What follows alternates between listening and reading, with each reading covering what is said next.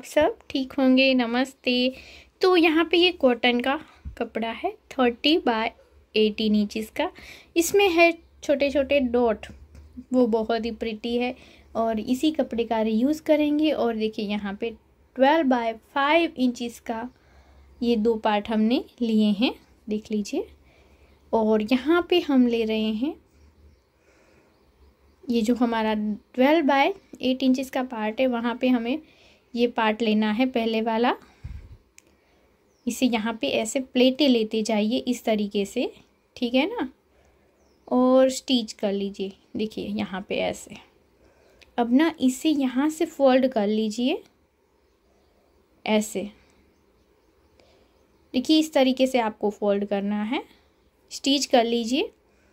और फ्रेंड्स आपको वीडियो अच्छा लगे तो प्लीज़ लाइक, शेयर और सब्सक्राइब ज़रूर कीजिएगा और हमारी फैमिली वन मिलियन तक पहुँचने वाली है।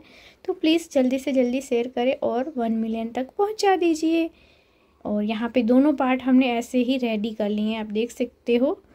तो यहाँ पे साइड में हम स्टिच कर लेंगे, फिर ना इसे सीधा कीजिए। नीचे से ऐसे फोल्ड कर लीजिए। और अब ना मैंने ट्वेंटी बाय सिक्स इंचज़ के ये कपड़ा लिया है। इसे आपको ऐसे फोल्ड कीजिएगा, देखिए। ऐसे बड़ा सा बेल्ट बनाना है आपको और इसे ना दो पार्ट में डिवाइड कर लीजिए और ये एट साल की बेबी के लिए बना रही हूँ और यहाँ पे आपको दोनों साइड से टू इंचिस पे मार्क कर लेना है।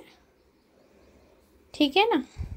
तो अब ये जो बॉर्डर है, इसे ऐसे रखिए और स्टिच कर लीजिए। देखिए, जैसे मैं कर रही हूँ वहाँ पे, वैसे ही कर लीजिए। और यहाँ पे भी आप स्टिच कर लीजिए। तो ये भी हमारा काम हो चुका है। अब सेम बैक साइड का जो पार्ट है वो सामने की साइड आपको अटैच करना है। हमने वहाँ पे भी मार्क कर लिया है। तो यहाँ पे ऐसे आप स्टिच कर लीजिए। बहुत इजी है, झटपट से बन जाता है और गर्मी में आपको बहुत ही काम आने वाला है। गर्मी में आपको बहुत अच्छा रहेगा ये। तो देखिए, और ये फ्लावर्स मैंने प्रांसी के फ्रॉक में जो पड़ा था, वही अटैच कर लिया। और देखिए, कितना प्रिटी लग रहा है, कितना प्यारा और झटपट से बन जाता है। तो आपको कैसा लगा बताना ज़रूर, ऐसे आइडिया के साथ। हम मिलते हैं नेक्स्ट वीडियो में, तब तक के लिए बाय जय भारत, वंदे मातरम।